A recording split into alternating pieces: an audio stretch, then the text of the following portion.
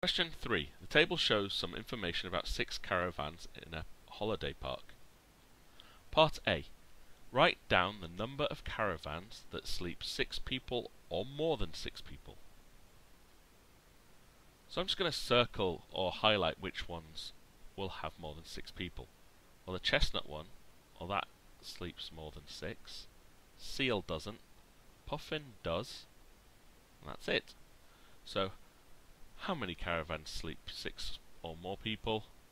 Well, that's only two. Part B. Write down the names of the caravans with a sea view and a DVD player. So to do this, I'm going to go down the list again, and this time I'll put a little star next to each one, just to indicate where I'm getting my answers from. Well, the chestnut caravan has neither.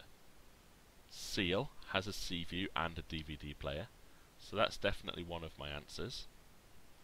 Puffin has a sea view and a DVD player, so that's another answer. Tern has a sea view but no DVD player. Heron has no sea view and a DVD player, and the same with Pearl. So the answer for part B, the two caravans with a sea view and a DVD player, would be the Seal Caravan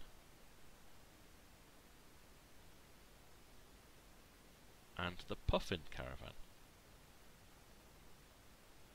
Now, as it's only worth one mark, you did have to get both of those correct. If you put anything extra on there, you would also lose that mark for having an incorrect answer. Part C. Work out the difference between the highest weekly hire price and the lowest weekly hire price you could pay. Mike wants to hire a caravan that sleeps exactly four people. So it's a two mark question, meaning we're going to have to have some form of working out here. The ones that hold exactly four people would be the Seal Caravan, the Heron Caravan, and the Pearl Caravan. So we're trying to find the difference between the highest and lowest values between those three.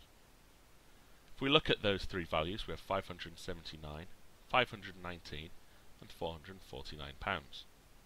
So the highest value is £579. To find the difference, I would have to take away the smallest value, in this case £449.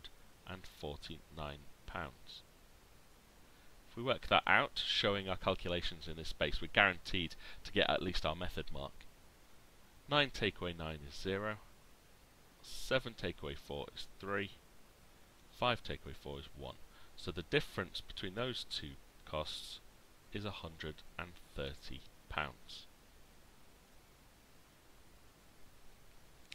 Each caravan has a width of 12 feet. For part D, use 1 foot is 30 centimetres to work out the width of a caravan.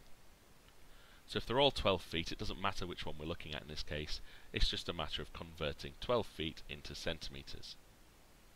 If 1 foot is 30 centimetres, we're going to multiply whatever our feet is by 30. So in this case, because we have 12 feet wide, we're going to do 12 multiplied by 30. If we ignore the 0 for now, we could do 3 times 12, which is 36, meaning 30 times 12 must be 360. Now at the moment that's in centimetres, because our conversion rate told us that one foot was 30 centimetres.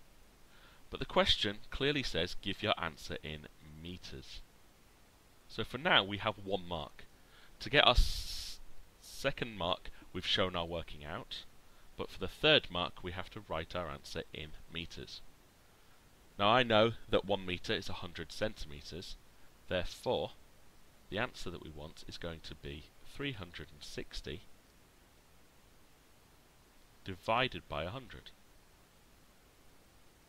When you divide by 100, all numbers move right two places. So the 300 becomes a 3. The 60 moves into the tenths column. So there's a decimal point, a 6, showing that the answer is going to be 3.6 meters.